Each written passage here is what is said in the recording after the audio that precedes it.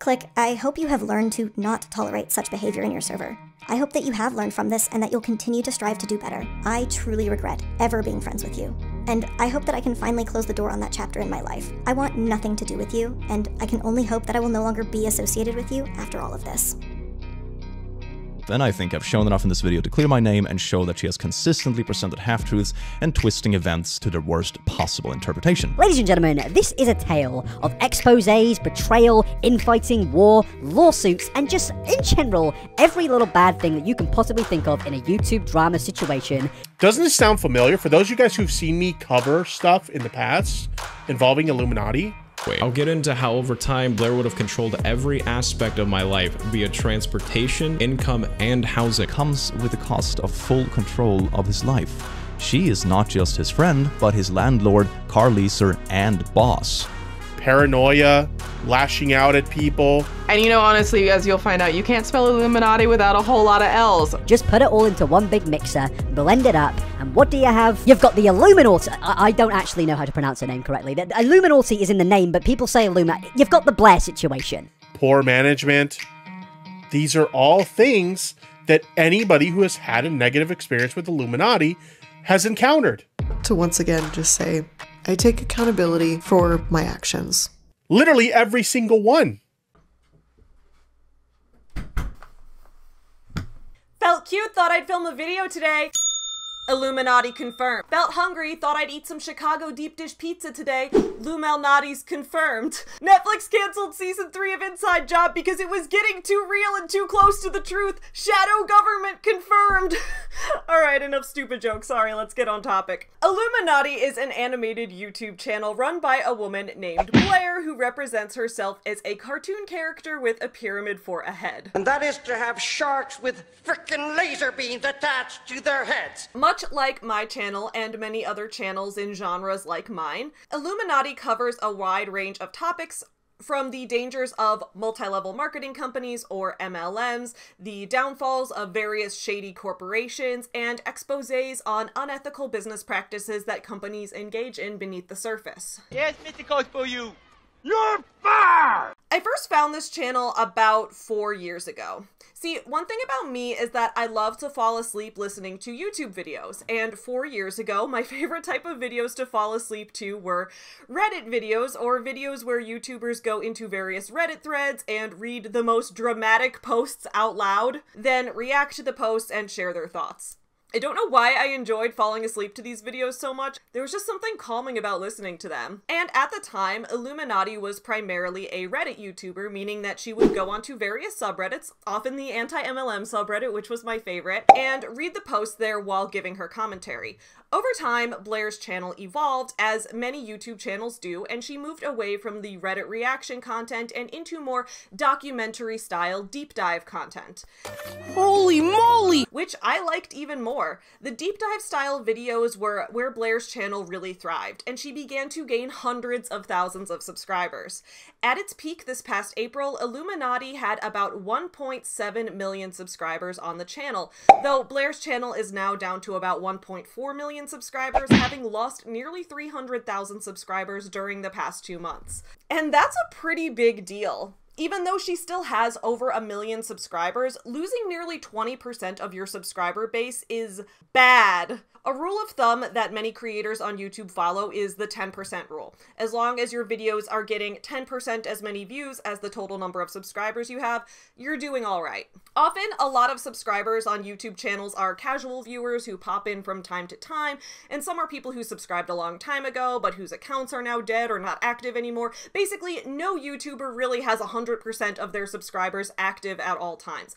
And when 20% of people who were subscribed to you dislike you enough to go out of their way to hit the unsubscribe button, you know you fucked up. So, how did this happen? How did Blair go from being one of the leading voices in the anti MLM movement on YouTube, second only to probably CoffeeZilla at this point, who's closing in on 3 million subscribers and has literally been on the Joe Rogan show to talk about this stuff? How did she go from that level of fame and respect to being universally distrusted by a wide segment of her former fans? I hate you! Well, it's because it's not just about her former fans, it's also her former friends and her former employees and her former friends turned employees or employees turned friends who were often one and the same until they lost both of those titles. You are the weakest link. We all know about the best romance trope of all time, right? It's childhood friends to enemies to lovers. There's no contest. Well, in Blair's case, all of her relationships were friends to employees to enemies. And that does not bode well for our tragic heroine. We often hear the phrase, don't mix business and pleasure. Well, then explain to me how a putt putt golf company operates. People talk about this when they want to discuss the importance of work life balance or the moral and ethical struggles that can come with mixing our financial security and our emotional security. And while it may seem like don't mix business and pleasure could be the thesis of today's video, that's actually not the direction that I want to take it. Because, controversial as this may be, I don't actually think there's anything wrong with working with and for your friends and family. I do it all the time, but it's a situation that can require a lot more foresight and a lot more careful navigation, and that's what I want to discuss today. At first, I wasn't planning to make a video on the downfall of iilluminaughtii. I figured so many creators have already covered this topic, from iNabber's comprehensive timeline videos to Tipster's multiple streams covering this topic to Julie Joe's anti-MLM community perspective on the topic, and all of these creators did a fantastic job covering the controversies going on. I highly recommend that you guys go and watch all of those as well. At this time, I was kind of like, do I even need to talk about this? Would I have anything new to say? But the more I delved into the root causes of iilluminaughtii's downfall, and the more I saw the ways that this conflict went beyond typical YouTube drama and into the realm of business and employment ethics, I realized I actually did have something to say. So I'm gonna say all of it. Let's go. Get you some nuts. Yeah, you effin'. Up yours, woke moralist. We'll see who cancels who. What's up, my fellow small business supporters? I'm Savy. Welcome back to Savy Writes Books, the channel where we talk about books and business, where we cover a variety of topics from book reviews, reviewing books about businesses, talking about businesses that produce books, talking about the anti multi level marketing movement, talking about book publishing and literature, and all that good stuff. If any of those type of topics interest you, please don't forget to subscribe to this channel because I put out new videos on those topics every week, and you won't want to miss them, so don't forget to ring the little notification bell. I'd also like to give a quick thank you to my Patreon supporters. Today's video was brought to you by my Patreon supporters. I greatly appreciate everyone who supports this channel. Y'all, don't forget to take a look in the description below where all my Patreon supporters who contribute $5 a month and up have the option to link their own social media pages, cause they want to promote their own small business, whatever they want. Go ahead and check them out there and show them some love and support. And if you're interested in getting behind the scenes looks at how I make videos, how I run my own businesses, writing tips, advice, all that type of stuff, you can check out my Patreon page as well, where I post a new blog post every week delving behind the scenes into all of this. You can take a look at that in the description below. Also, if you like the dress I'm wearing, I did the art for it. It's available on my fashion and merch website, hipsterunicorn.myshopify.com, which is also linked in the description below, so you can check that out there. Enough self promo. Let's get back to the topic. So, when did the downfall of iilluminaughtii begin? Many people have been saying that it's like a couple months ago on 420 Blaze It on April 20th when she first got into a conflict with the YouTuber Legal Eagle. And we will cover that whole situation, don't worry. But first, I think we need to rewind a little. I think we need to rewind a little and head back to the year 2020. Oh, we're all gonna die. The first controversy that I noticed of iilluminaughtii's happened almost three years ago, back when she spread and exacerbated existing drama within the anti MLM community. The anti MLM community comprises a variety of YouTube, Instagram, Reddit, and TikTok content creators who make educational videos, posts, reels, and more all about the dangers of multi level marketing companies and the ways that pyramid schemes and companies like pyramid schemes can destroy people's lives. Even though a lot of my content is about books and publishing and small business ownership in general, I'd still consider myself to be part of that community in some ways since I do make a lot of anti MLM videos on this channel. Other creators you may know in this genre include Savannah Marie, Kiki Chanel, Monica Hayworth, Recovering Hunbot, Cruel World Happy Mind, Coffeezilla, Mooncat, Spencer Cornelia, Mike Winnett, Roberta Blevins, Brianna Jewell, Not the Good Girl, and, of course, iilluminaughtii. But to fully understand the situation, first I think we're gonna need to talk about a name that y'all probably haven't heard of in a while, and that is a creator named Kimberlea.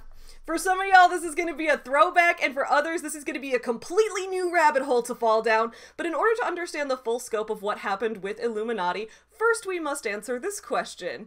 Who is Kimberleia? A woman called Kimberleia. She is uh, an entrepreneur and a, a, business advisor. She wanted to be like iilluminaughtii. She does not respect the law of fair use. She's trained as sort of a, a life coach as she submitted a copyright strike. And this is where she kind of really gets into her stating that she's never really aligned with the beliefs of the anti-MLM community. Not a claim, a copyright strike against a small creator named Tiana Liss, which is completely um, legal. This wasn't what she had signed up for. She got carried up in a wave like of things and she wanted to distance herself from anti-MLM. Kimberleia was an anti-MLM YouTuber up until the beginning of 2021, at which time she had over 200,000 subscribers on her channel.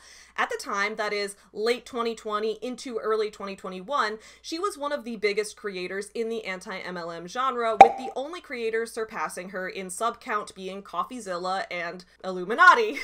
Nowadays, Kimberleia's channel is somehow even bigger at 375,000 subscribers, and she mostly makes true crime content that hits well over 100,000 views per video, so she's actually doing really well her cancellation didn't stick like at all. But behind the scenes, she was stirring controversy back in 2020, particularly controversy between iilluminaughtii and fellow anti-MLM creator Cruel World Happy Mind. At this time, which was again late 2020 into early 2021, Cruel World Happy Mind was a newer YouTube channel with about 50,000 subscribers at the time, and Madison, who runs the channel, mostly focused on exposing scams, pyramid schemes, and other shady business practices. And she did a really great job at this, which is one reason that her channel grew so quickly.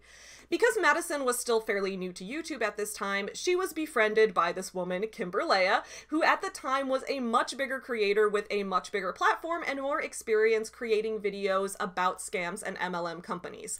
Behind the scenes, though, Kimberleia was stirring up drama. So here's what happened. In 2020, Madison put out two videos about supermodel and TV host Tyra Banks. The reality is, Tyra Banks is a businesswoman who has built most of her career and her empire around the exploitation and mistreatment of young women and under the guise of empowering them. Who used to run an MLM company called Tyra Beauty. After watching these videos, Kimberleia sent a DM to Madison saying, Hey, there's a creator much bigger than you named iilluminaughtii, and I think she copied your videos on this. They look shockingly similar. Madison has since come out as saying that at the time, since she was still new to YouTube, she trusted that Kimberleia was just looking out for her, so she decided to see if there was any truth to Kimber's theory that Blair was copying her. I'm talking about Tyra Beauty, so why discuss it at all if it's failed? But since then, Madison has realized that Blair wasn't copying her and felt bad for ever even engaging with the idea. But at the time, Madison sent Blair a message through Instagram, which is thankfully still documented in this two year old live stream from Tipster.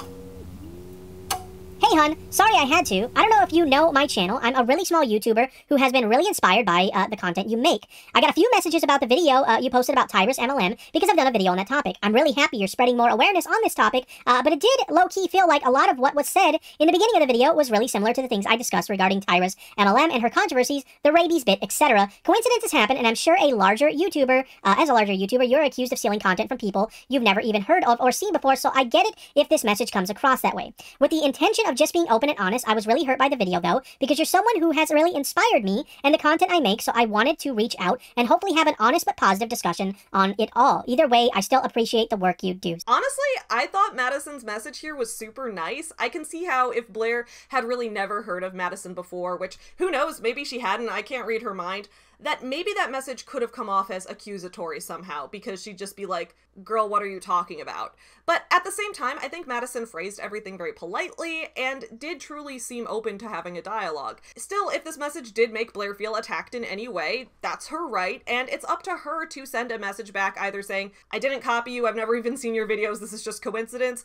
or to ignore the situation and move on.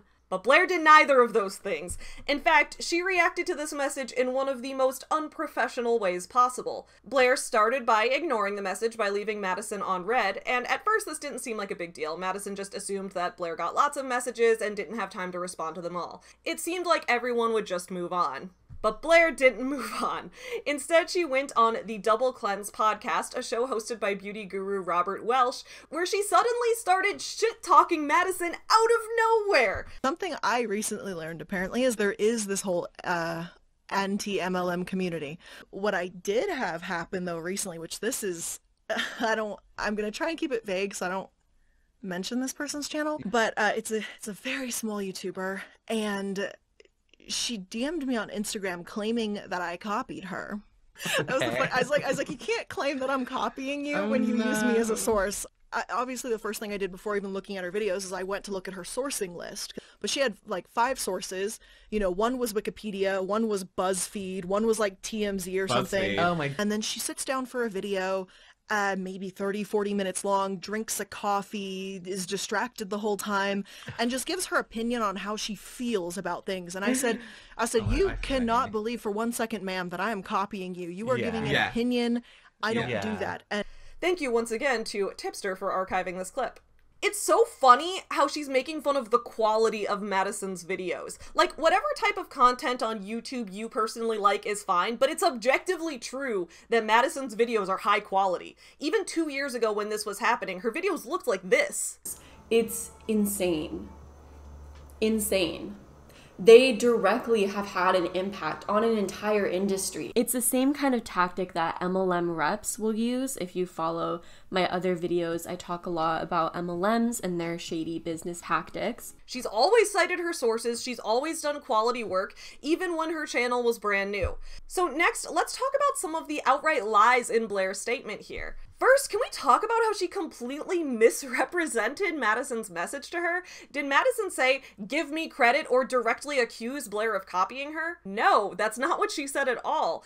But again, maybe that's how Blair interpreted it. And when we look back on conversations that we had, as humans, we are always going to look at them through the lens of the emotions we were feeling at the time. I can't believe how selfish you all are.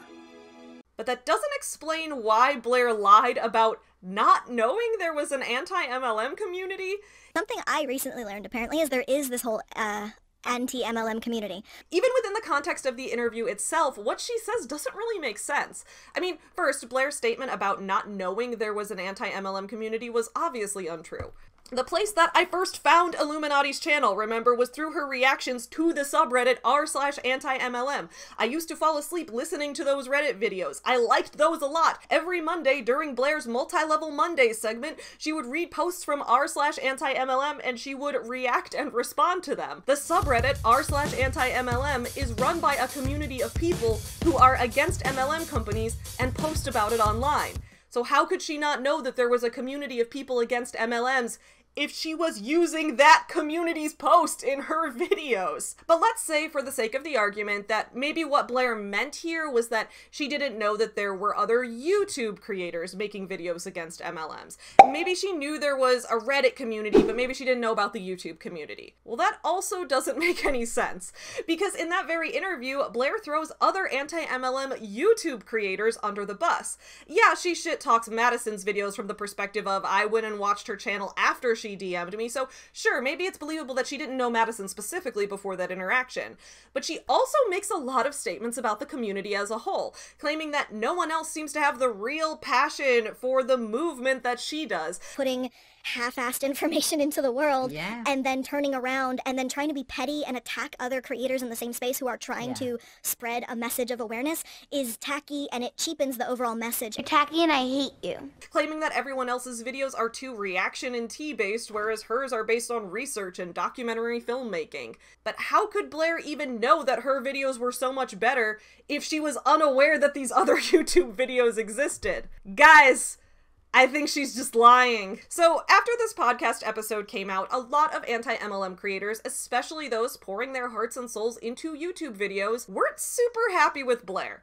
To claim that she didn't even watch their content and then make assumptions about how it must be inferior to hers, even though she definitely didn't watch it in the first place to even have any way to know that, well, that hurt.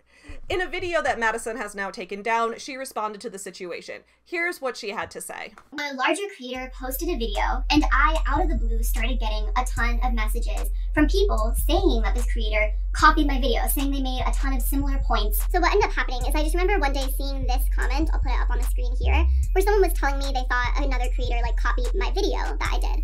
And I was like freaked out, and I got a few other comments like that. So I was like, oh, this person thinks this creator copied my video. That's really weird. And me at the time, I don't even think I had 20,000 subscribers. So getting messages like that freaked me out because this creator had 600,000 subscribers and I had less than 20. And to hear so many people say the same thing about a situation and message me the same thing scared me. I never accused straight up accused this creator, this larger creator, of copying. iilluminaughtii's making statements that, oh, you know, she was attacking me, uh, she was demanding credit, she was saying that, like, you know, you definitely stole this from me. On top of that, something I didn't mention in that video, and that this creator seems to conveniently also leave out of this whole story, at the time that people were messaging me this, there were no sources on this person's video. The only thing it had in the description was in parentheses, sources coming soon. Uh, she even took jabs at her content, how it was like basically implying that her content's lazy. But she had like five sources. You know, one was Wikipedia, one was BuzzFeed, one was like TMZ or something. Oh my. But I could not find anywhere where I used TMZ as a resource. I am a one woman show. I do all the research, editing, scripting, thumbnails, and posting all on my own. After Madison put out this video, Blair announced that she would be doing a Twitch live stream exposing Madison for all of her lies. However, that stream never happened because thankfully the two of them were able to find some mutual common ground. On February 8th, 2021, Blair tweeted out a thread detailing the conversation that she and Madison had, which seemingly at the time looked like it was going to resolve everything. Just got off the phone after a three hour conversation with Cruel World Happy Mind, and I am very happy that we were finally able to talk and resolve our issues privately. Ultimately, there was a series of misunderstandings from both sides. We have worked those out to stop the escalation of any drama.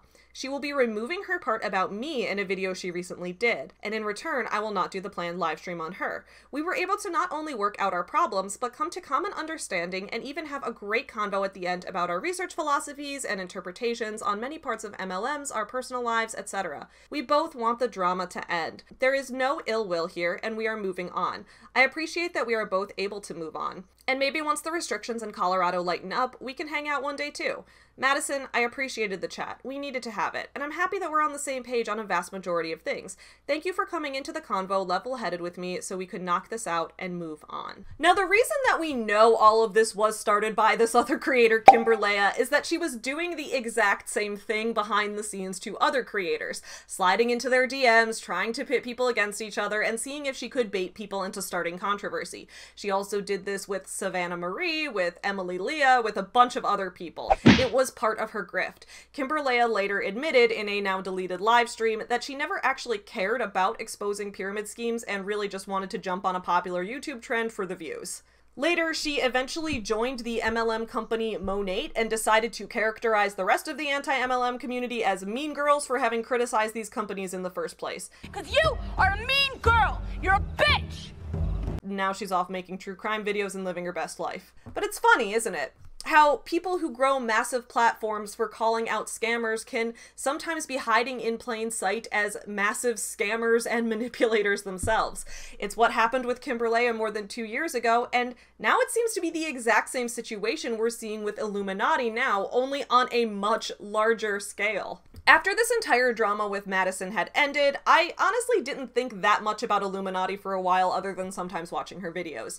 I think back in 2021, after Madison and Blair worked out their issues, I tweeted at both of them saying something along the lines of, thank god there's no beef between you anymore because I love both of your guys' videos. And I did! I continued watching iilluminaughtii as a casual fan, especially enjoying her corporate casket series. I enjoyed that entire concept. The corporate casket where shady corporations go to die. It's the type of content that was right up my alley. I liked some of the research that her videos provided on topics that I also wanted to cover on my channel, including the Hobby Lobby health insurance controversy that we saw a few years ago, various deep dives on MLM companies that I also plan to expose, and more. But unfortunately, this wasn't the end of Blair's tension with anti MLM creators. Black Oxygen Organics, also known as BOO or BOO, is a multi level marketing company that literally sells dirt Or should I say, it was a company that sold dirt. Past tense is important here because the company has thankfully now shut down after concerted efforts from multiple online creators to expose their shady dealings. Boo was a Canadian company that sold products made from dirt. Like dirt from the ground, and customers were advised to put it on their face, take baths in it, and even ingest it by mixing it into water and drinking it. And then you were also supposed to recruit your friends to join the dirt pyramid so that they could drink glasses of dirt in water with you. Yes, this really actually happened. Boo has been defunct as of November 23rd, 2021, which followed a September 2021 recall of Boo products issued by Health Canada. That November, Boo received a class action complaint due to their products being found to contain lead and arsenic. And in December of 2021, the FDA told consumers to please stop eating the dirt. The dirt has arsenic and lead in it. Please stop eating the dirt. On September 6, 2021, Blair released a video called The Dirt on Boo, in which he discussed the ways that this company was scamming and harming its customers. Then, on October 24th, 2022, more than a year later, Blair released a second video on Boo called The Dirty Business of Black Oxygen Organics, in which she gave a similar overview of the company's harms, plus also their controversies, troubles with the law, and their eventual downfall. Around the same time that the FDA released its advisory, the FTC released a cease and desist letter to the company due to their unlawful advertisement that they treated COVID 19. So, why did this cause controversy? After all, iilluminaughtii was right. Boo was a terrible company, and the fact that she put out a video with over 300,000 views explaining the harm that they were doing, and then a second video with about 200,000 views detailing their outright lies to customers and showing proof of their intentional scams, well, that could only aid in the fight for consumer protection, right? Well, there was a bit more to the story, and this is where we need to approach the situation with a bit of nuance, because yes, what Blair said in her video was all true, and her video is absolutely on the right side of history when it comes to MLM companies and to Boo in particular. But many fellow anti-MLM creators, especially smaller creators who had done all of the initial research and on-the-ground work in exposing Boo, including telling their own stories in a private Facebook group, sharing their own vulnerabilities after getting out of the company, they felt that Blair had taken their work. Now, this issue is multifaceted, so let's break it down. Basically, in 2021, the main online group working to take down Black Oxygen Organics was a Facebook group called Boo is Woo. The group was private due to the private nature of former Boo sellers telling their own stories when they were potentially afraid of backlash, but the team running that group was at the forefront of the effort to expose the company and create content to warn future customers against getting involved with the MLM. In this group, former Boo distributors told stories of how scammy the company was, how terrible the products were, and everything else you'd expect of testimonies from victims from a terrible exploitative company. The group was set to private because many of these former distributors feared some sort of backlash from Boo, since within the anti-MLM community, a lot of us live in constant fear of receiving cease and desists or legal threats from companies much, much bigger than us with much, much more money and resources than we could ever hope to see. A bunch of my fellow creator friends in this community, including two of my best friends, Savannah Marie and Monica Hayworth, have both received cease and desists from MLM companies that they've discussed on their channels before. These companies like to threaten people who try to speak out against them. It's kinda their thing. They want no negativity at all, to the extent of being willing to squash all free speech and keep the positive vibes only bullshit going. Illuminati herself kind of does this too. We're gonna get into that in a minute. As a result, in order to access the Boo is Woo Facebook group, you first had to be admitted and approved by one of the group's moderators. The group's moderation team was run by a series of anti-MLM YouTube and Instagram content creators.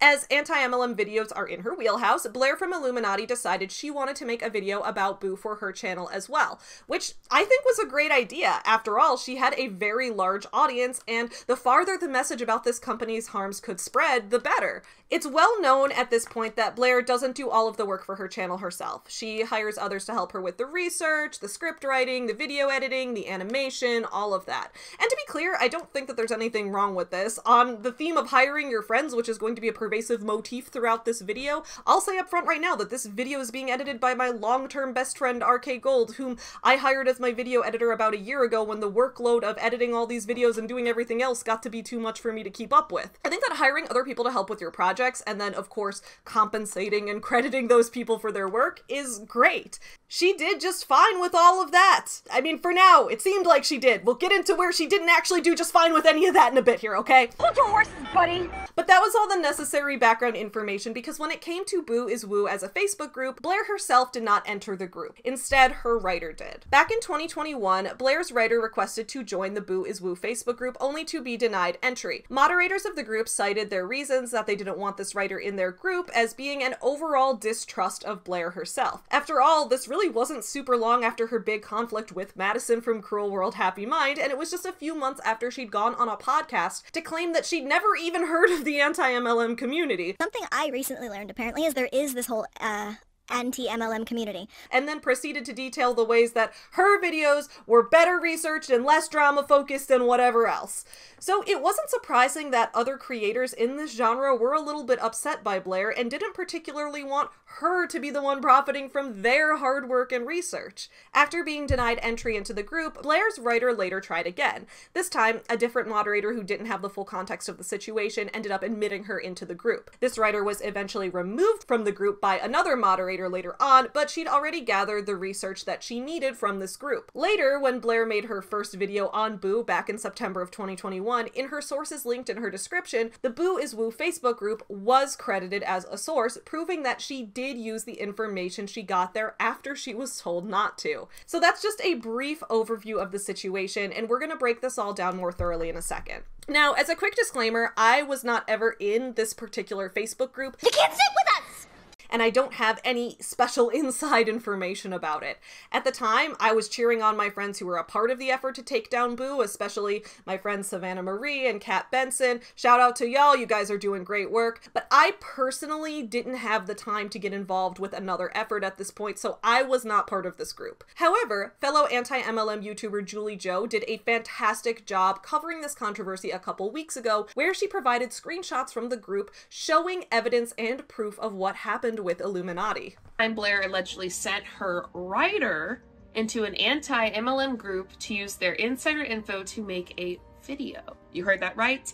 Allegedly, she had one of her writers get into a Facebook group called Boo is Woo. Now, I might have a little bit of a different take on this issue than some of the other creators in my community on this, and I hope this doesn't get me canceled. Honestly, though, I really can see both sides to this issue. I can see why the Boo is Woo group felt violated. I can understand why they felt that their work and their privacy hadn't been respected. I can understand why these group members were hesitant to let in a representative for a creator they didn't trust, especially when this group was dealing with private and sensitive information. At the same time, I can sort of understand Blair's perspective here, or at the very least the perspective of her writers and editors. The truth is, Blair's videos about Boo didn't really reveal any personal information about people in the group, at least from what I saw, and again, it's totally possible that there's some context I'm missing, so if you were part of this group and you disagree, feel free to leave me a comment below. But for the most part, it really just seemed like this video did do a good job exposing what was wrong with Boo as a company. At the end of the day, this Facebook group and Blair's channel were on the same side of the issue, and their efforts together did a lot of good in helping warn consumers against a harmful company. And I'll be honest, again, under the caveat of I wasn't actually in this group, so maybe I don't understand some of the nuances of the situation. I don't fully understand why the moderators didn't want Blair's writer in there. Yeah, I agree that she'd been rude to creators in this community, but the video she was working on wasn't about the drama, it was about exposing a company that this group also wanted to expose.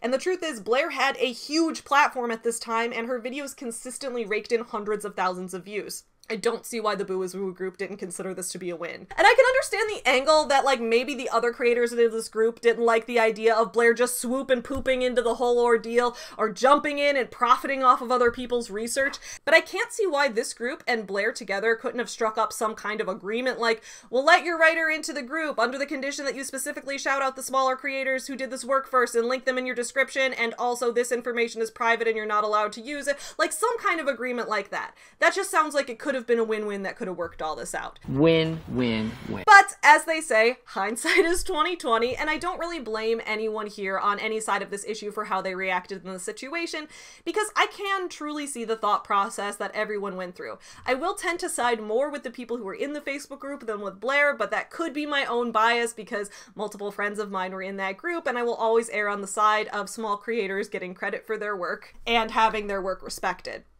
To an extent, I feel like even framing this issue as iilluminaughtii versus the Boo is Woo Facebook group did the entire anti MLM movement a disservice at the time. At the end of the day, all of the content created was on the same side of the issue, and fostering infighting within an activist community only serves to grant more power to the companies trying to exploit us.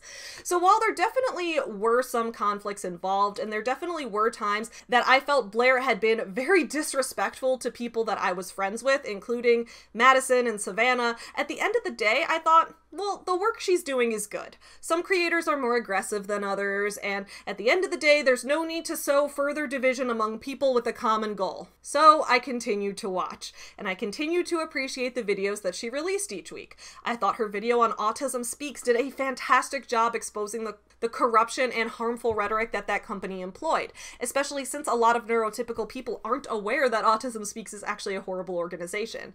And as a person who has fully grown out, cut off, and donated my hair five times now, I liked seeing her break down the corruption going on within organizations like Locks of Love. Her channel was one of the only ones I saw going after these companies and explaining the harms they were causing, pulling back the veneer of charity work, and instead shining a light on these corporations for what they truly were. Unfortunately, Blair herself was also putting up a front and her facade was finally pulled away starting about two months ago when she got in yet another controversy, this time with the YouTuber Legal Eagle.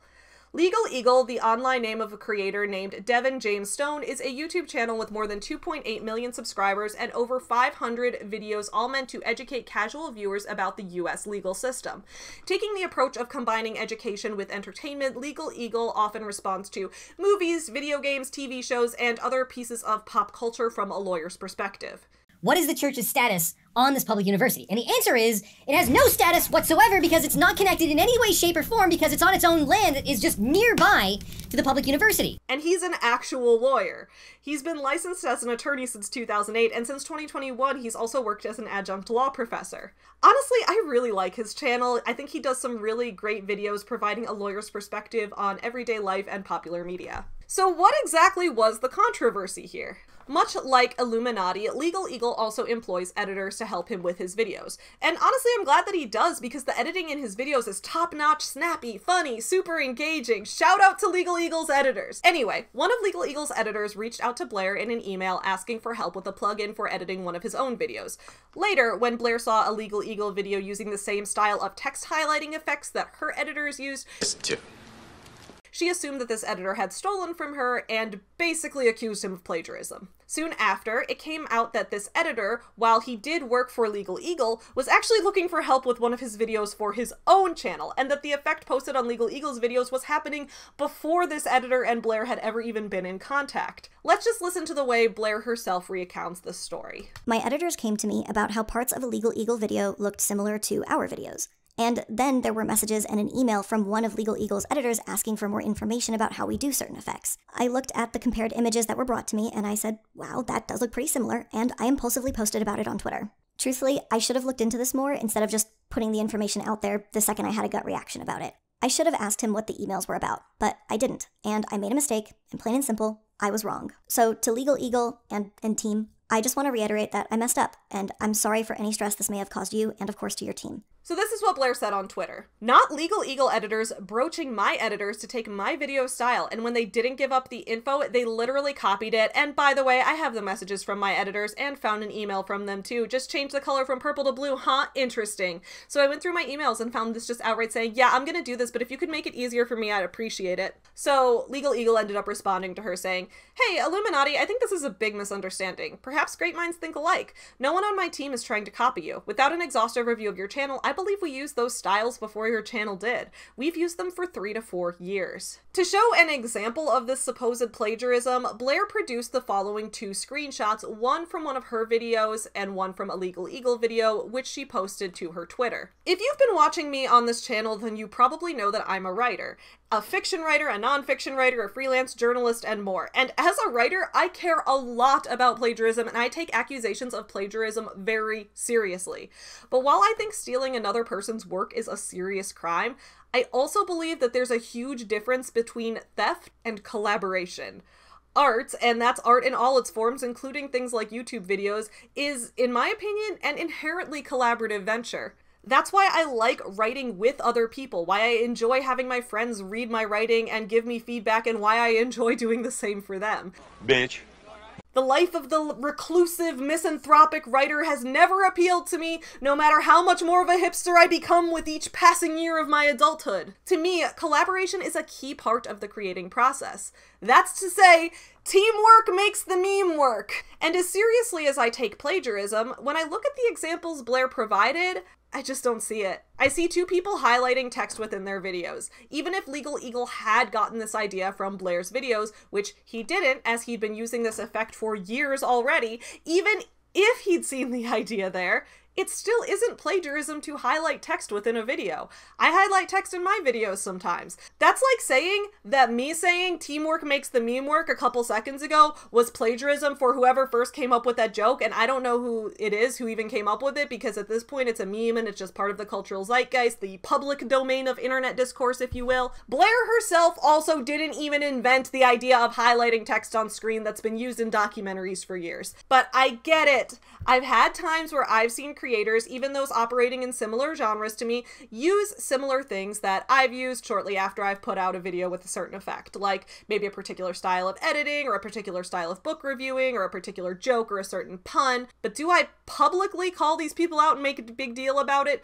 Do I accuse them of plagiarizing? No, because YouTube is a collaborative venture. The better one person's videos get, the better all of our videos can get. If we share the knowledge with one another about how to continually improve our videos, the experience is just going to be overall better for creators and audiences alike. It's also kind of funny that right before this, we just talked about how Blair publicly attacked Madison from Cruel World Happy Mind because she thought it was so ridiculous that Madison could suspect her of plagiarism.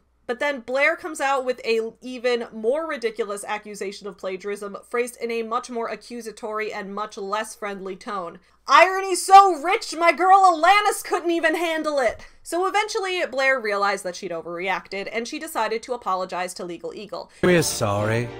She did this through a private DM, but then later, since there were a lot of channels discussing this drama, she decided to publicly show the screenshot of her apology as well to prove that she really did apologize. We're sorry. She said, I want to reach out and apologize for my tweet yesterday. I was quick to protect my editors when they brought this info to me, and I overreacted. I have deleted the tweets. Legal Eagle said, Understood, thanks for the apology, and thanks for deleting. We're sorry. I'll be the first to say it. I'm glad she apologized. I know that the internet can be a really unforgiving place, and we do have a tendency to hold our past mistakes against each other. I'm sure I've overreacted to fellow creators online before too. I've made so many videos at this point that I'm sure if you looked hard enough, you can find me saying something really stupid or judging another person too harshly as well. So at the end of the day, it's good that she recognized her error and reached out to apologize. Being able to recognize when you were wrong and admit that, that's something we should encourage, especially in this world of online content creation where we're going to get it wrong sometimes. So Blair apologized to Legal Eagle. Legal Eagle thanked her for her apology. Seemed all was well. No further conflict needed to happen, right? Well, not exactly. Because the whole issue with Legal Eagle had gotten a lot of people feeling a little bit skeptical about Blair, including her defensiveness and quickness to be reactive toward others. This is when another YouTuber named The Click entered the game. The Click is a commentary and reaction YouTube channel run by a guy named Mark. The channel has 1.25 million subscribers as of the day that I'm filming this. It has over a thousand videos, most of which are Reddit reaction style videos. The Click had been a collaborator with Blair as well as a few other YouTubers a few years ago on a combined channel called Sad Milk. According to Wikitubia, the YouTube fandom wiki, Sad Milk was a collaborative YouTube channel focused on reactions to various online posts, memes, and images. The members of the channel were collectively referred to as the Milkmen. The group also had a gaming channel, Streamed Milk. It has since disbanded. Basically, at the time that Reddit and meme reaction channels were popular, a group of reaction channels banded together to create a new reaction channel that was greater than the sum of its parts, with the added benefit of having a group of friends all in one place to laugh and enjoy memes together. I can see how that would be fun. Reacting to memes with my friends is like my favorite pastime. I get it. Sad Milk included a variety of YouTube creators, but the ones we'll be focusing on in today's video are The Click, Wonderstruck Guy, Oz Media, and of course, Blair, iilluminaughtii. Because of Click's past involvement with Blair, his viewers began wondering if he endorsed the behavior that she showed towards Legal Eagle. Now, Click hadn't collaborated with Blair in more than two years, so he created a Twitter thread detailing that he and Blair weren't friends anymore and that he wanted no part of this drama. On April 23rd, 2023, the Sunday after Blair's debacle with Legal Eagle, YouTuber The Click left a long Twitter thread detailing why he and Blair were no longer collaborators, colleagues, or even friends. Don't come by my house. We're done. He said, Hey, peeps! I've seen the recent drama regarding iilluminaughtii and would like to clarify I am not affiliated with her and haven't been for over two years. I left her and her collaboration group, Sad Milk, due to similar behavior as seen in the recent events lashing out at friends and fans, paranoia, and generally poor anger management, to name a few. Eventually, I believe pretty much the whole group left. The last meeting I ever had with her, she spent half an hour, I think, hard to know, screaming at me for an array of random things, calling me a bad friend, lazy, and a bunch of random accusations that didn't really have anything to do with me. There is no way that you can have the resume you have and be this fucking stupid, and so on. No one even raised their voice back at her. I left along with several other members, half the group at the time. She spent the next few months spreading lies and half truths about us on the Sad Milk Reddit page and vague posts on Twitter. I still have all the screenshots. She would turn friends against you or specifically team up with people she knew didn't like you, so she had allies against you. Five days later, Blair released a video of her own titled iilluminaughtii Exposed. Oh, I do think it's relevant to bring up that in 2019, the Clicks channel was terminated by YouTube for sexual content. At the time, a few YouTubers, including myself and Oz Media, band together to help reinstate Clicks channel. Oz spoke to his MCN representative, and I spoke with YouTube directly. This is something that I now look back on with so much regret. While the title of the video was meant to be a bit ironic, a little tongue in cheek, the video actually did unironically expose a lot of the conflicts that had been going on behind the scenes. Believe that he could be a pedophile. However, he cultivated an environment that was a breeding ground for inappropriate behavior with minors to occur, and that's exactly what happened. Blair denied that she had been the instigator in her conflicts with the Click, instead choosing to detail all the ways that she found him to be the problematic one, and how the only thing she ever regretted was even trusting him in the first place. Click, I hope you have learned to not tolerate such behavior in your server. I hope that you have learned from this and that you'll continue to strive to do better. I truly regret ever being friends with you. And I hope that I can finally close the door on that chapter in my life. I want nothing to do with you, and I can only hope that I will no longer be associated with you after all of this. Now, I can understand why Blair may have felt she needed to go on the defensive a bit here. After all, the Click's Twitter thread made some pretty big accusations in it, and all of them were pretty vague. At the same time, if those allegations were true, if she really had been abusing her fellow collaborators and employees and colleagues, and intentionally creating conflict behind the scenes, that really didn't bode well for Blair or her brand. However, the accusations she hurled against the Click in this video are pretty serious, namely that she accused him of excusing predatory behavior on Discord. Blair's video specifically stated that the Click had allowed a 19 year old legal adult to brag about dating a 12 year old child in his Discord server.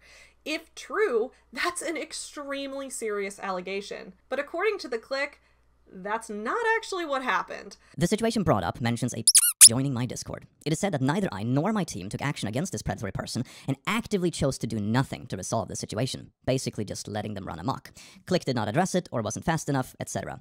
Here are the DMs of said creep, full username, etc. that she has already showed in her video. Now the first detail that was conveniently left out of the accusations is that I was asleep. In my time zone, this occurred around 2 a.m. and within the span of me sleeping, this random creep in question had already gotten banned. I took the liberty to dig through the old ban logs on my server and here it is. He was banned at 2.14 a.m my time zone.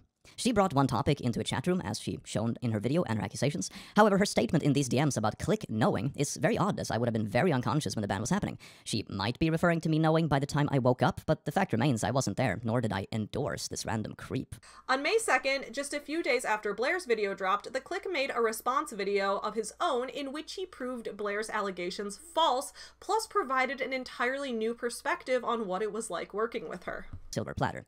In the allegations against me, it is claimed that I didn't react or respond to the situation. Number one, being asleep at 2 a.m. detail was completely left out. Two, the fact that he was actually banned before this whole thing was left out. And three, a receipt of iilluminaughtii reaching out to me to get me to respond wasn't shown in her video or allegations. Oh, I do think it's relevant to bring up that in 2019, the Clicks channel was terminated by YouTube for sexual content. At the time, a few YouTubers, including myself and Oz Media, band together to help reinstate Click's channel.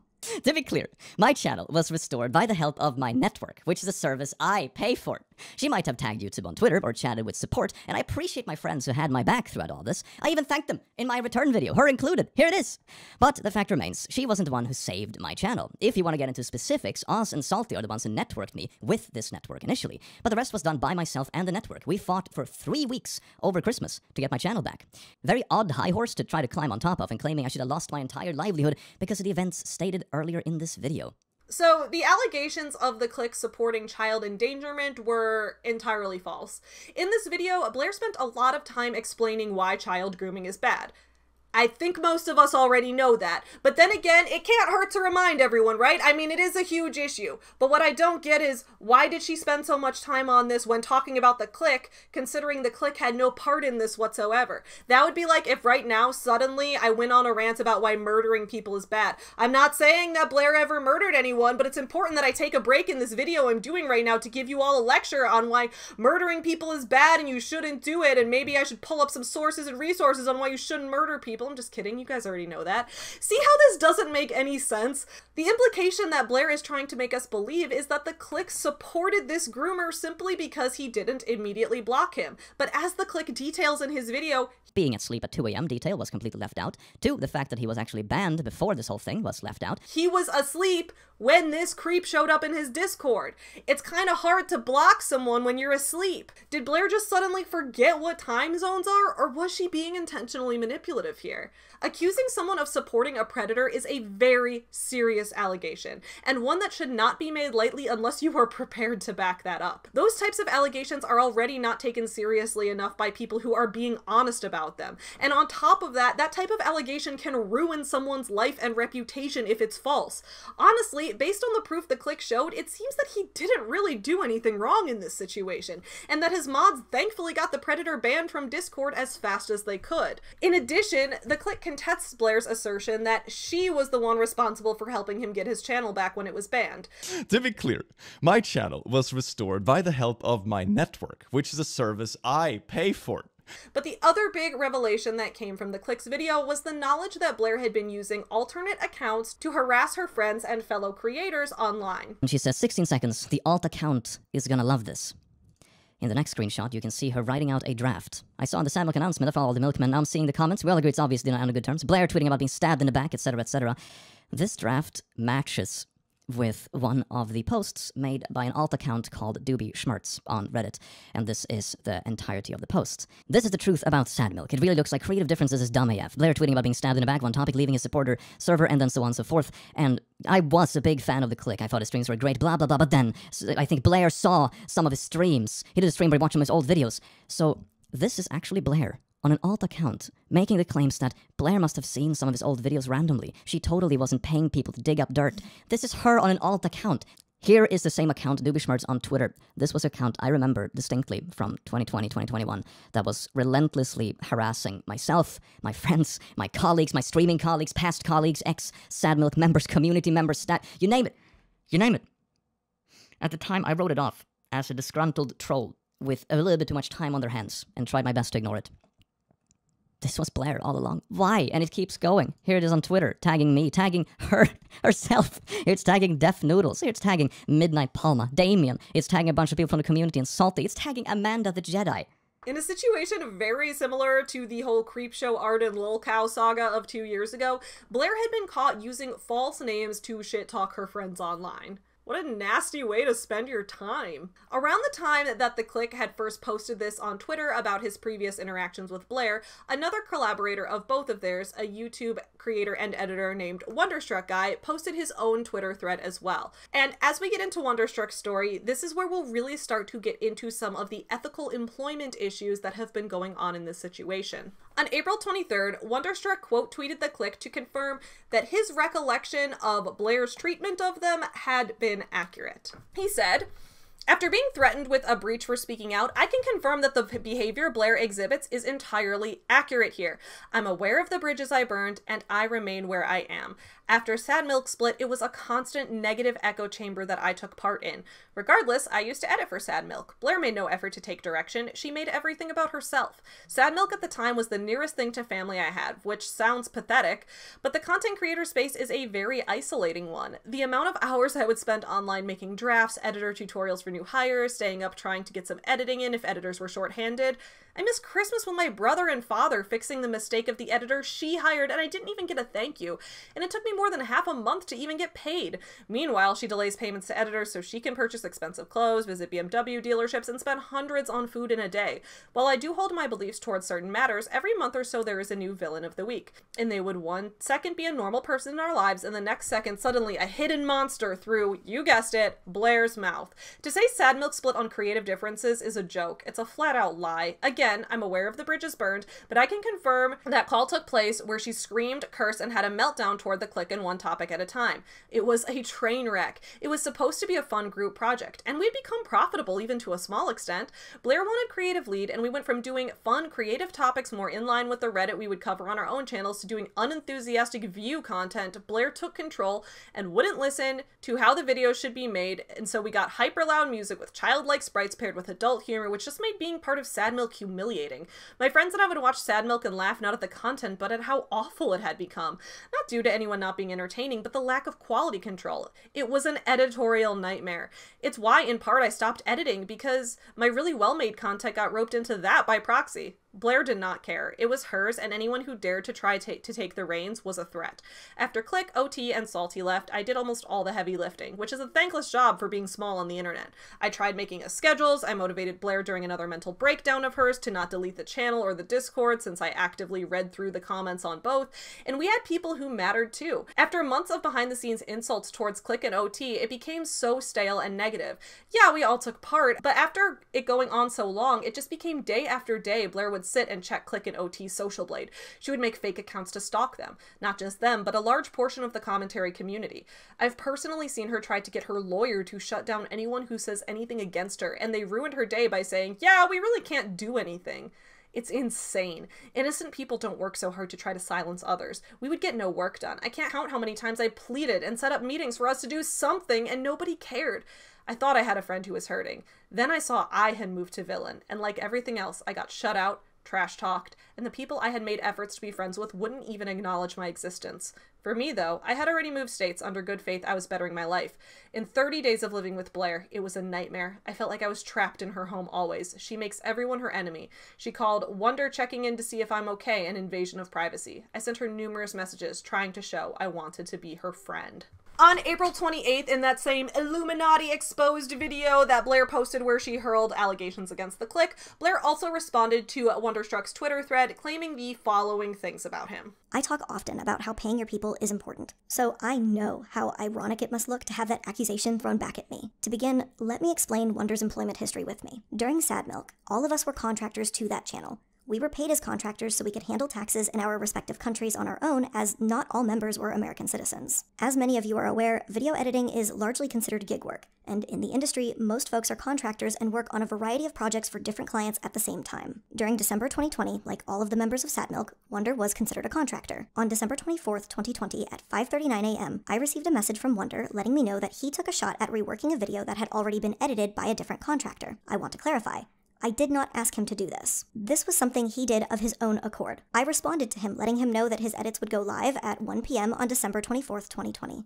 I don't want to claim to know what goes on in Wonder's personal life, but claiming that he missed Christmas with his brother and father, I just don't know how that's possible when the video was finalized early morning on Christmas Eve. And Wonder, I do want to thank you again, as I previously had verbally done so for editing that video. It was great to have a video go live the day before Christmas. As for his claim that he didn't get paid for his work for more than half a month, I would like to let everyone know that Sad Milk's payroll was on a bi-weekly schedule. That simply means that there is a payment every two weeks, which is essentially half of a month. The end of 2020, I paid for his tickets to visit Oz and me in Colorado. During this trip, we discussed the possibility of Wonder moving out to Colorado due to his discontent with his life in Texas. Oz Media and I had just moved into his newly purchased home in April 2021, and he decided to welcome Wonder into his house. Unless Oz Media was doing so without my understanding, Wonder was not charged any rent, utilities, or internet for sharing our living space. Later in May 2021, we welcomed Wonder into the house.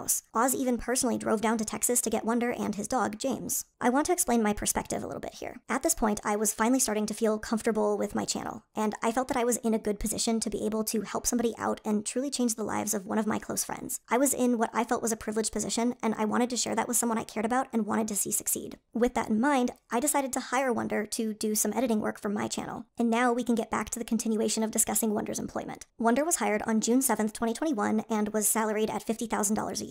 To be frank, I just really wanted him to have an easier job so that he could focus on his personal channel, as he had told me numerous times that was his ultimate goal. His only task was to edit short clips from any live streams that I did so that I could post them onto my secondary channel, Illuminati. In addition to his salary, he received all benefits that I have for all of my salaried employees, which include a 401k, full health insurance, and an internal benefit I created for my team called an LSA.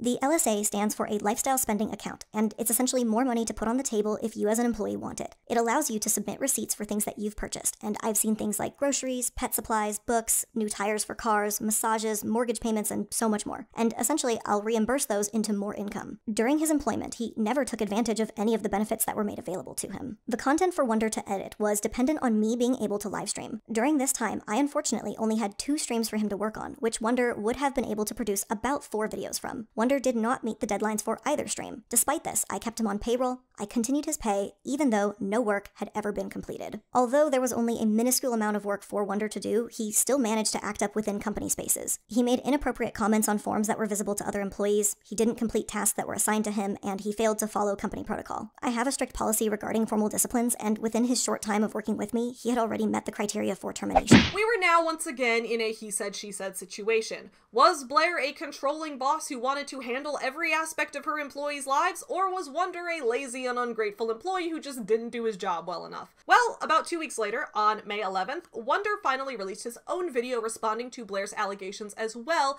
as elaborating on his own. I was then offered, hey, if you want to edit a video, we'd be happy to pay you. I was such a new creator and I was so new to contract work itself that I personally thought $20 was fair pay for my work after my initial payment that I asked for was Burger King because I just wanted dinner. Obviously, I was compensated more than that for that video. After about three months in, Sad Milk became profitable though. So while yes, Blair did pay for edits, she was always reimbursed for this. But before we get into that, I think it's important to point out that there was one piece of Blair's video that was not up for debate, and it was this moment. What I specifically would like to highlight is that he insinuates that he had intention to and was taking action to arm himself to end his life. In a message directly with me, he explicitly told me that, quote, I was legit trying to get into my dad's gun cabinet to fucking kill myself. Either way, out of concern, I called the Austin Police Department non emergency line to ask for a wellness check. And when I explained to the operator what was the situation at hand, they immediately transferred me to the 911 dispatcher. I then read the messages to them and I gave the 911 operator the last known place of his residence in Texas, which was his dad's house, to perform a wellness check. The operator then told me not to arrange anything unless the police force is present. In his messages, Wonder states that he received a call from his therapist, which ultimately pulled him out of his intended plan. I'm really not sure what Blair was trying to do here. Like I said, comparing Wonder's Twitter thread about Blair being a terrible employer with Blair's video about how Wonder was actually a terrible employee,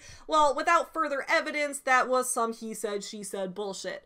But this moment, this moment wasn't. This was a moment where a former boss, a former friend, exposed the private mental health struggles of her former friend and employee. Without any prompting, without any outside stimulus, Blair showed a screenshot of Wonder's private DM detailing his plans to potentially end his own life. Whether you hate someone or not, to bring up someone's personal mental health as an arguing point is quite frankly a low blow. And it's not your story to tell. If anyone's going to explain my mental health, it is personally going to be me. Regardless of what else is happening in this situation, even if Wonder had been the worst employee in the world, nothing excuses putting that on blast.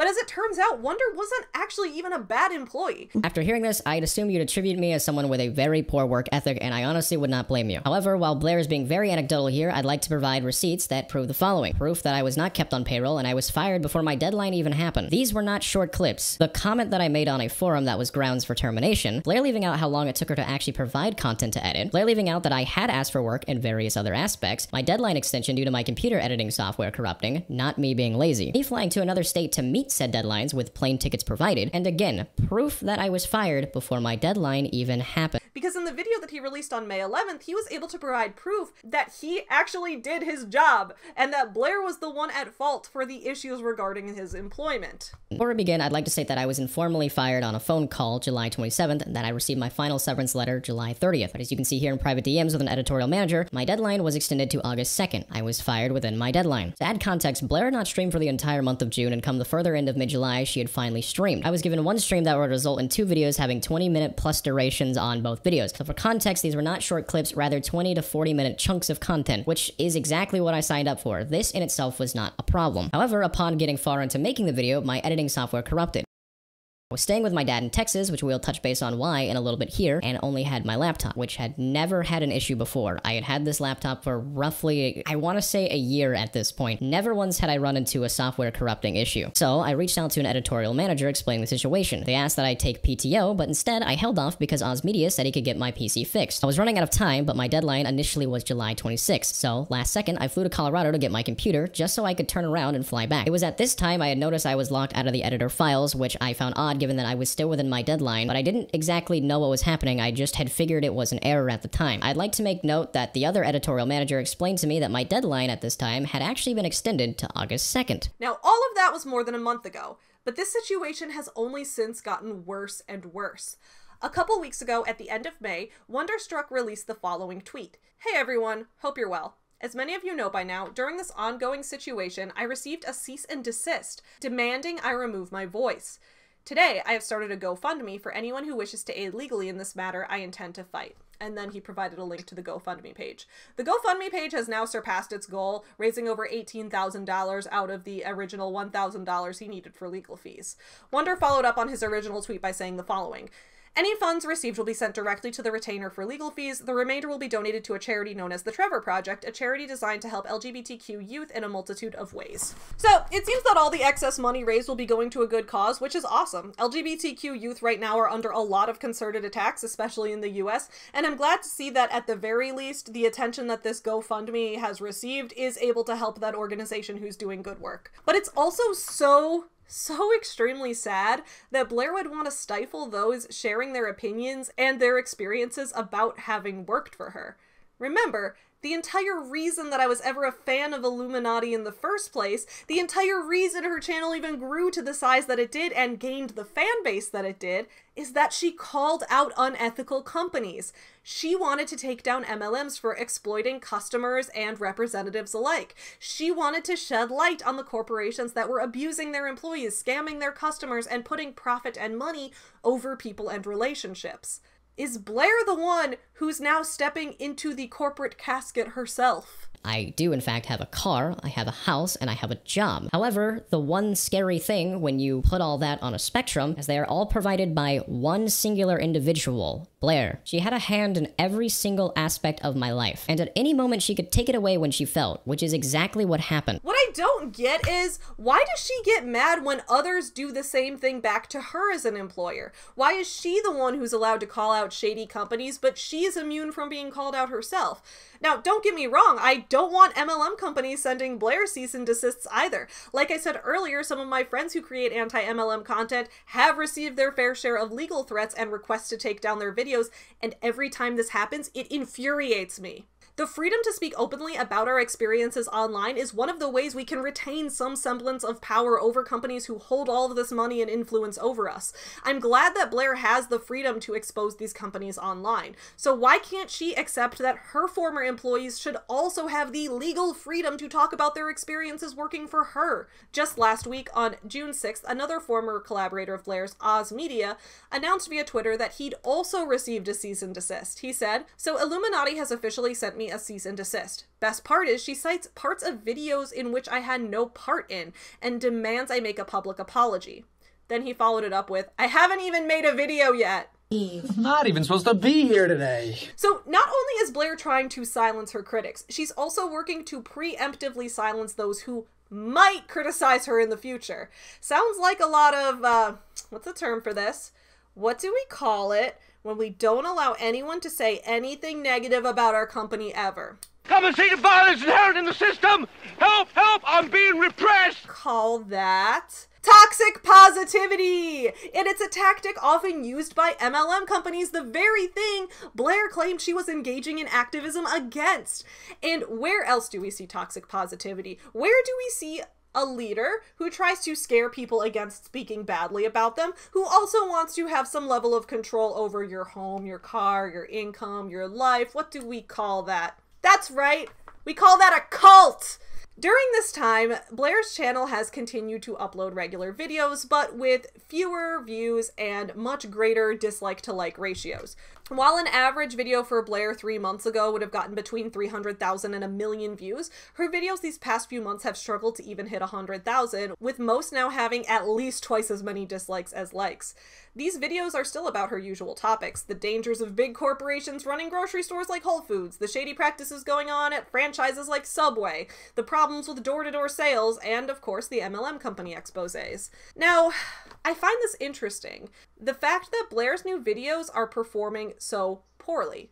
In the past, I've always noticed that when a creator gets canceled, usually the worst thing that they can do is take a break from the internet. Because then, when they come back, the controversy will still be the top thing in their audience's mind, no matter how much time has passed. Usually, it's the creators who continue to pump out their usual content that get past these controversies with the least damage. But not in Blair's case. And I wonder why that is. I think maybe it's because of the iilluminaughtii video that she put out in the first place. I mean, let's be real, iilluminaughtii Exposed was a pretty terrible response. Outside of confirming that she apologized to Legal Eagle, which was actually a good thing, all she really did outside of that was create a bunch of new accusations against the Click and Wonderstruck, and then those two both then had the opportunity to thoroughly disprove that with evidence. And at the end of the day, there really isn't one rulebook or one set of guidelines to follow when facing massive waves of criticism online. My best advice is tell the truth, back up your claims with evidence, and then get back to your content. Seems like Blair did the last one. She got back to her content, but without the telling the truth and backing up your claims part. And I think that's the main missing ingredient in this pizza here. Since I started scripting this video, another YouTuber named Swoop has put out a comprehensive documentary, more than two hours long, about the downfall of iilluminaughtii and her channel. This video delves even further into allegations that have come out against Blair, including her ex-boyfriend's allegations of abuse, showing patterns of behavior that are shockingly similar to the ways that Blair treated her employees and friends. I'm not actually going to delve into that side of the story at all for two main reasons. One, because domestic abuse is something that I try to avoid talking about just because of personal stuff, and I really don't want to delve into that. And second, because I really want this particular video to focus primarily on what other entrepreneurs can learn from Blair's failings, since that's the area that I think I have a unique voice and perspective on for this topic. But if you want to see more of the angle of the story regarding relationships and potential abuse there, I recommend watching Swoop's video for that. Now that we're through, all of that. Let's move into the section that I really wanted to talk about today, the one place where I think I can provide a unique perspective. And for that, we need to ask ourselves this question What can we learn from this situation? I'll do you one better. Why is Gamora? Whether you're a content creator, a business owner yourself, a creative person who likes working for small businesses or working with public figures, what can we learn from this situation about the ethics of business ownership and best practices for navigating the often muddy waters of working with friends, families, and loved ones? I also want to give a disclaimer here that I am not a moral authority on anything. I'm just another person learning business as I go and regularly trying to improve what I do. And while I do strive to be as ethical as possible when running my own companies, I also admit that there are places where I can improve. Like, for example, I've talked about this before. I would love to get to a point where the clothing, merch, toys, and plushies that I all produce are all created with like sustainable and environmentally friendly materials and processes, but I'm not fully there yet in terms of the capital I would need to expand to that level to get that done to be able to afford to launch that in the first place. Employees. And this is all to say that I'm not a perfect business owner, and I don't think anyone is. Like they say, there's no ethical consumption or production under capitalism, but that doesn't mean that we can't all try our best. In the meantime, we can just try to do the best we can with the resources available to us. While Blair of the iilluminaughtii is just as much of a millennial business owner operating under the same shitty American systems that we all are, it's clear from my perspective that she really didn't try her best, and that she went out of her way to manipulate her friends, family, and employees, which were often one and the same. Intertwining friendship and business is fine. Just make sure no one is ever reliant on each other or has complete power over another person. When I hire my friends, in 100% of cases, it has been for contract work. Never have I ever hired a friend as a full time employee with benefits, and every time that I've hired a friend to work for me, they've also been working for other people as well. The work that they do for me as a client is one freelance job among many. Now, I can't say for sure that this is like a universal rule of business ethics or anything like that, or that the way that I do things is without fail. Because here at Globo Gym, we're better than you! Because I can see the upside to being that employer that provides that salary and benefits to an employee. I can just also see how, when friendship and emotions enter the mix, how it can become too easy to intertwine your personal life with your livelihood. And then, if things go south in one of those areas, it's likely to affect the other areas, and then you end up not only losing a friend and bearing the emotional weight of that, but you also end up losing your only source of income and your only source of things like health insurance. Again, that's a problem with the system set up in the US, and we're all just kind of trying to work within it the best we can. And I'm not saying that this makes me a good or a bad business owner, but I do feel less stressed overall knowing that the friends I pay for services related to my business also make money elsewhere providing services to other people's businesses as well. Because if for whatever reason something doesn't work out in terms of the work or me being able to budget for their role that year or whatever else, it doesn't mean that I have the livelihood of someone I care about fully resting in my hands. I'll be honest, I love working with my friends. When you already have a lot in common with the people that you're working with, and when you already share a sense of humor, you share similar interests and similar values, it can be easy to create a really beautiful product together. Hiring RK to edit my videos was one of the best decisions I ever made. Oh, fuck off, you big lamb! And because he's also my best friend of five years, half the time he can just predict the exact tone I'm going for in a video, or knows what joke to insert in a certain place that would make me laugh, just because he knows me so well. I'm glad I hired my good friend Sarah to be my manager on YouTube and my administrator for Furever Home Friends and Hipster Unicorn. When you have a person you already click with, a person you already love talking to, it becomes second nature to start brainstorming ideas together, bouncing things off of each other, having ideation and strategizing sessions, and having fun while doing it. I said no lies. I think he's telling the truth. But that doesn't mean that working with my friends has always gone well throughout my entire life. Way back before I started this channel, I had multiple occasions of trying to work with friends where we didn't share common goals with business, or where it turned out in the end that we were just being people in our early 20s experimenting with entrepreneurship without any particular clear vision. In these cases, sometimes the friendship suffered, sometimes the business suffered, and more often than not, it was both. And that could be really, really difficult to deal with. I still have this moment burned into my brain of this one time one of my friends invited me out to a cafe with her and then sat me down and told me she was no longer interested in trying to run a business. It felt like I was getting dumped. And in a way, I was. Like a lot of things in life, working with your friends Mixing business and pleasure, as they say, can be a high risk, high reward venture. It has the potential to go very, very wrong, but those times that you get it very, very right can make everything worth it. And that doesn't mean, though, that the risks aren't worth talking about or that it's a decision to ever make lightly. I also think something else we need to keep in mind while you may want to work with your friends and while you may want to be there for your friends emotionally, and you can do both of those things, it's important to not mix and overlap those two things directly. Here's what I mean by that. One of the most recurring issues during Blair's past few years, one that many of her friends have repeated as having the same story, is that she tends to weaponize people's mental health or spread their private mental health information publicly. Now, I think that if you're an employer caring about your employees, mental health is important. And if you're someone's friend, of course you might know about the issues going on in someone's personal life and want to be there to help. But it's important not to mix these two things directly. And by that, I mean it's unacceptable to use someone's mental health against them in making business decisions. If you're a content creator and the job you're doing requires sharing information with the public, you need to know that other people's mental health struggles are not yours to share.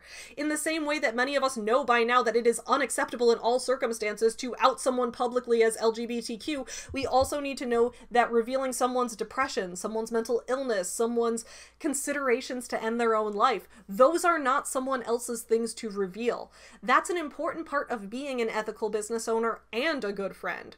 And Blair failed miserably at both of these things. Just God, that whole Sad Milk story. It makes me so sad. Watching a group of friends go from a place where they're enjoying each other's company, working towards turning a profit together, to a place where people are fighting, exposing each other online, vague tweeting about each other, and dissolving the channel.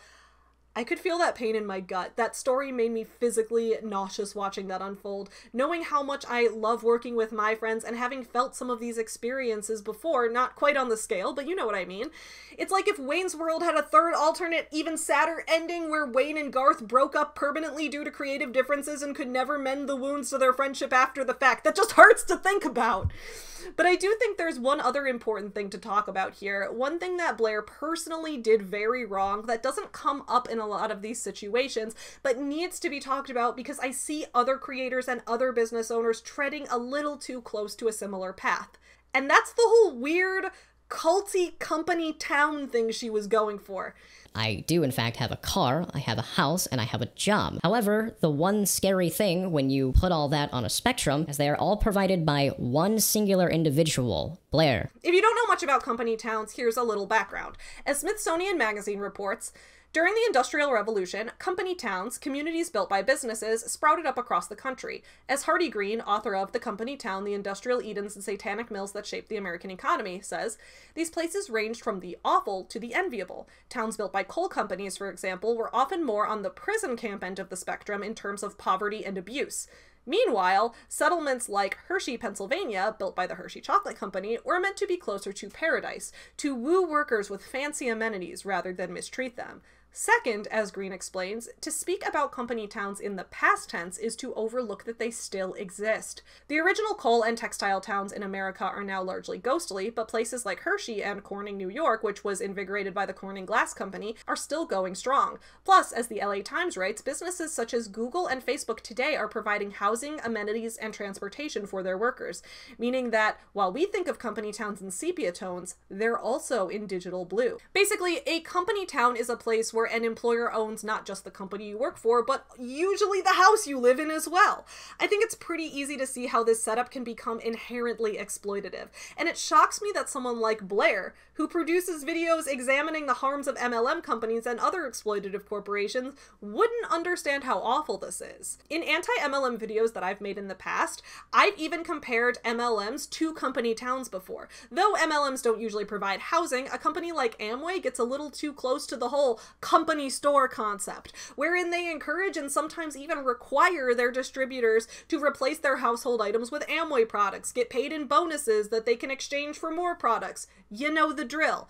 Similar to Mary Kay's Pink Cadillac, or really any MLM with a car benefit where the company leases a car in your name and you're on the hook for the payments if you don't sell enough. But you really don't own the car, it's just a method of control by the company. So, what I don't understand is how Blair, someone who makes videos about how company control is inherently predatory and knows this, how she can turn around and do the same thing to her employees.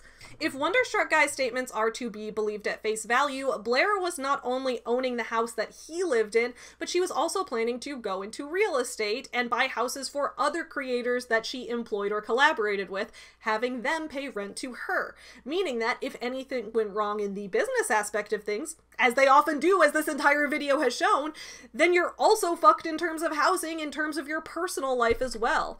I made a couple videos on this channel before discussing the dangers of company towns and comparing them to cults. For example, a few months ago, I talked about how Elon Musk's plans to buy plots of land in Texas for his Tesla employees made me extremely uncomfortable, and how his plans very much resembled a company town. It's not okay when Elon Musk does it, and it's not okay when Blair does it either. What's concerning is that this concept isn't limited to just a couple of people. Recently, huge YouTube content creator Mr. Beast announced his plan to create a potential company town as well. As the website The Gamer reports, the New York Post reported this week that Jimmy Donaldson, better known as Mr. Beast, has been quietly buying up houses in a cul-de-sac in Greenville, North Carolina, in the area he grew up in. Over the last five years, he purchased his own home, then bought up the rest of the houses that surrounded his. Three of them were not up for sale and were purchased off market for almost a million and a half dollars combined. He purchased these homes for family and employees. On the surface, buying houses for people is a very nice thing to do. I know if I was as rich as Mr. Beast, I'd offer to buy houses for all my friends because I live in one of the most expensive cities in the world and some of my friends are in precarious housing situations. However, I'd also understand if my friends didn't want to accept a several hundred thousand dollar gift from me because of the imbalance it could bring to our friendship.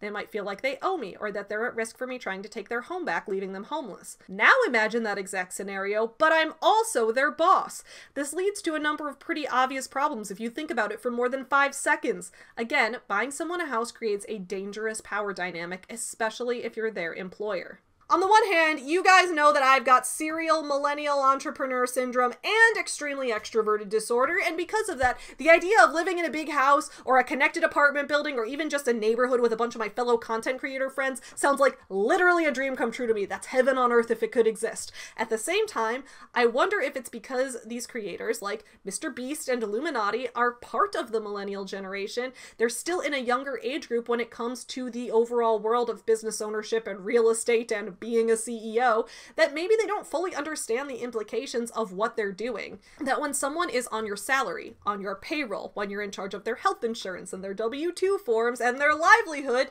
that you can't also own the place where they live. That's just a breeding ground for an abuse of power to happen. So, where do we go from here? Well, I'm sure the story is going to develop like 25 more times between me filming this video and this video going public on my channel, so we'll have to see on that. But I really hope that more than anything we can learn something from this situation. Mainly, if you're on my channel and you're passionate about small business ownership and entrepreneurship, that you can take away some of the examples of what not to do when growing your business, hiring new employees, and most of all, working with people that you already love and care about. At the end of the day, it's also important to remember that while Blair herself may have been an extremely unethical employer and an overall awful person to get along with, a lot of the stuff she said in her anti MLM and corporate casket videos was true. And that's what's so difficult here, too. I completely support people not wanting to watch her content anymore. In fact, there are many much better channels that you can watch that also cover scams and shady dealings of big corporations, some of which I've mentioned in this very video. So I'd recommend giving other people your watch time and support instead of her. At the same time, I think it's too easy to often conflate a creator's content with them as a person. I think it's fair to dislike Blair as a person and to stop supporting her content. I know I will be. But I'm also scared that there are going to be people who use this to discredit the messages within her content. Remember, she didn't actually do the research or write the scripts for most of those videos. That was done by people that she employed, many of whom may also have been exploited under her influence. And those people did do honest work exposing real companies and their controversies. Hearing Blair's voice reading those scripts and seeing it in videos now, I get how that comes off as hypocritical. How can this woman critique CEOs and unethical companies when she is an unethical CEO herself? I completely get that, but I also think it's important to remember that the information in a lot of these videos was true. Black Oxygen Organics is a scam. Autism Speaks is an ableist organization that completely misconstrues autism. Locks of Love really isn't the charity that they pretend to be. MLM companies really are way too close in operation to pyramid schemes and we should avoid them. Her message was true, even if she herself was a lie. Please let me know your thoughts on this video in the comments below. I hope you enjoyed today's video. I will see you guys again next week for more videos, but in the meantime, support small businesses. It's Pride Month. Support LGBTQ owned small businesses and stay skeptical, friends. Bye! Get you some nuts! Yeah, you effing. Up yours, woke moralist. We'll see who cancels who.